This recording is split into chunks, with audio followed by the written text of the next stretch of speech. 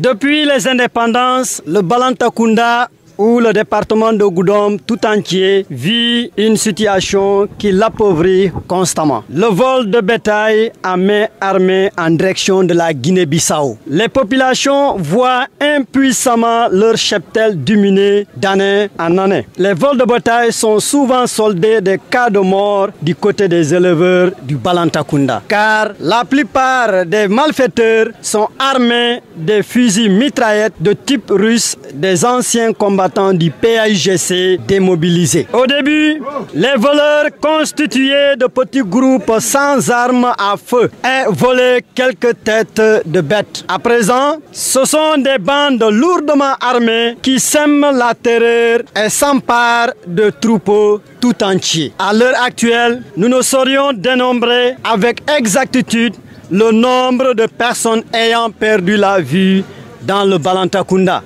Cette gestion injuste du vol du côté sénégalais ne serait-il pas une façon d'entretenir le vol, de protéger les voleurs et de les favoriser? Chaque année, plus de 500 bêtes d'animaux sont illégalement déportées vers la Guinée-Bissau. Le rapport annuel du comité de surveillance indique qu'entre 2017 et 2022, sur 2332 bovins volés, seuls 1315, 1315 sont disparus à jamais, soit 56% de bêtes sont en Guinée-Bissau. Sans compter les ovins, les caprins, les porcins, le volaille. Selon le même rapport, en 2022, sur 241 bovins volés, 54 seulement ont été retrouvés.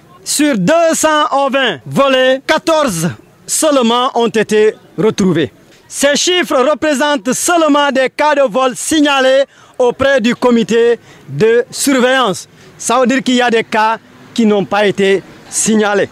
Quelquefois, les bêtes sont retrouvées en Guinée-Bissau. Qu'a fait l'État du Sénégal? Où était cachée la loi sénégalaise? Pourquoi n'a-t-elle pas condamné ces, ces voleurs et meurtriers comme la loi l'a indiqué dans le code pénal en son article 366. Quel avenir pour le secteur de l'élevage dans le Balantakunda? Quel avenir pour la sécurité du Balantakunda et de la population? Ces populations ne sont-elles pas, ne parties du Sénégal devant bénéficier de la protection et de la sécurité au même titre que tous les Sénégalais de toutes les parties. C'est ici au Sénégal que le citoyen se sent étranger. C'est ici au Sénégal que la légitime défense est devenue crime. C'est ici au Sénégal que le voleur peut traverser la frontière lourdement armé, voler, tuer et avoir raison devant la justice. Cette razzia inquiète le plus, de plus en plus dans le Balantakunda. Balant,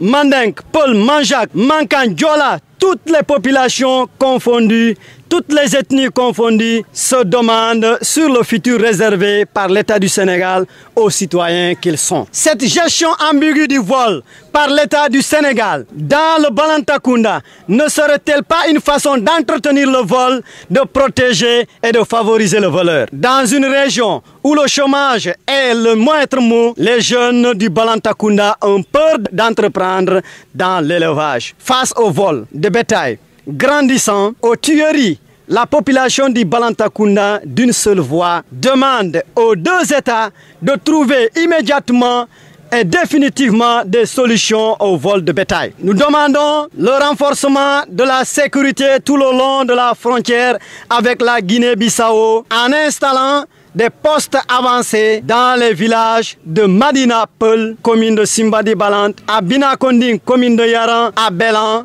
commune de Mangarungu, à Faranjanto, commune de Yaran, commune de Yaran, Balant. La régulation, la régularisation des entrées et sorties tout au long de la frontière en installant des postes de gendarmerie ou de police dans les principaux axes frontaliers tels que Tchamoulé, Koussi, Sanou Sénégal, Faradjanto, Belan, la, redynamisation de la capacité des membres du comité de surveillance contre le vol de bétail et le, en les dotant des moyens. Le renforcement des capacités des éleveurs, financement des éleveurs dans ce domaine, la tenue des CLD, CDD ou CRD spécialement contre le vol de bétail dans la zone. La fourniture de pistes électroniques électronique à l'ensemble des éleveurs qui permettra de retrouver les bétails volés même en territoire bissau-guinéen. Nous demandons à l'État de donner aussi des autorisations de port d'armes, pourquoi pas à tous les chefs de village, puisque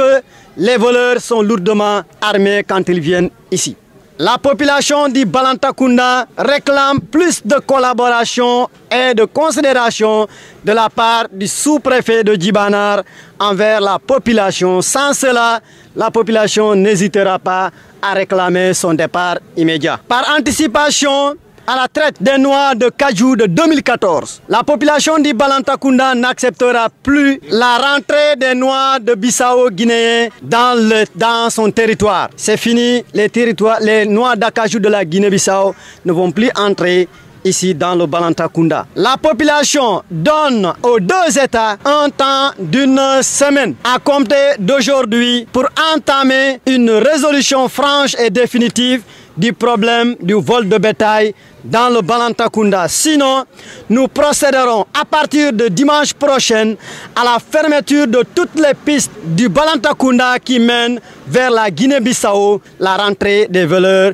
chez nous. Je dis aux deux États que le Balantakunda est dos au mur. C'est le dernier cri que nous lançons aux États Bissau-Guinée et Sénégalais. C'est fini le vol de bétail.